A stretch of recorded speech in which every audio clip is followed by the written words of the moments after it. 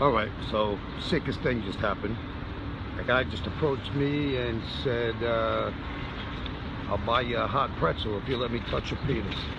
I was like, what the fuck are you talking about? He said, if you just let me touch your penis, I'll buy you a hot pretzel.